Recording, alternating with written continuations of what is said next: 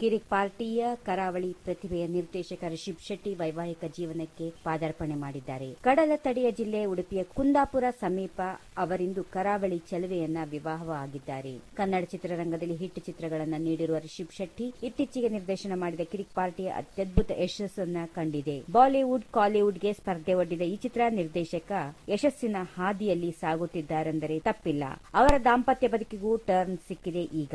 ಕುಂದಾಪುರದಲ್ಲಿಂದು ನೆರವೇರಿದ ಅದುರ್ದಿ ವಿವಾಹದಲ್ಲಿ ಅವರು software engineer ಪ್ರಗತಿ ಜೊತೆ ಸಪ್ತಪದಿಯನ್ನ ತುಳಿದು ಹೊಸ ಜೀವನವನ್ನ ಪ್ರಾರಂಭಿಸಿದ್ದಾರೆ. ಸ್ಯಾಂಡಲ್ವುಡ್ನಲ್ಲಿನ ಯುವ ನಿರ್ದೇಶಕರ ಪೈಕಿ ರಿಷಬ್ ಒಬ್ಬರು. ಈ ನಿರ್ದೇಶಕನ ವೈವಾಹಿಕ ಸಮಾರಂಭದಲ್ಲಿ ಕನ್ನಡ ಚಿತ್ರರಂಗದ ಗಣ್ಯಾತಿ ಗಣ್ಯರು ಪಾಲ್ಗೊಂಡಿದ್ರು. ಉಡುಪಿ ಮೂಲದ ಪ್ರಗತಿಯ ಬಂಧುಗಳು ರಿಷಬ್ ಕುಟುಂಬ ಸದಸ್ಯರು ಸಾಂಪ್ರದಾಯಿಕ ವಿಧಿವಿಧಾನಗಳಿಂದ ಈ ಮದುವೆಯನ್ನ ನೆರವೇರಿಸಿದ್ರು. ಕರಾವಳಿ ತೀರದ ಈ ಸಂಪ್ರದಾಯ ಮುಂಬೈ, ಕೇರಳ ಹಾಗೂ ರಾಜ್ಯದ ಒಳನಾಡು ಬಯಲುಸೀಮೆ ಸಂಪ್ರದಾಯಕ್ಕಿಂತ ಭಿನ್ನವಾಗಿರೋದ್ರಿಂದ ಈ ವಿಶಿಷ್ಟಮಯ ಮದುವೆ ಸಮಾರಂಭವನ್ನ ಕಣ್ತುಂಬಿಸಿಕೊಳ್ಳಲು ಚಿತ್ರೋದ್ಯಮದ ಗಣ್ಯರು ನೂತನ ವಧುವರರನ್ನ ಬಂದು ಆಶೀರ್ವದಿಸಿದರು.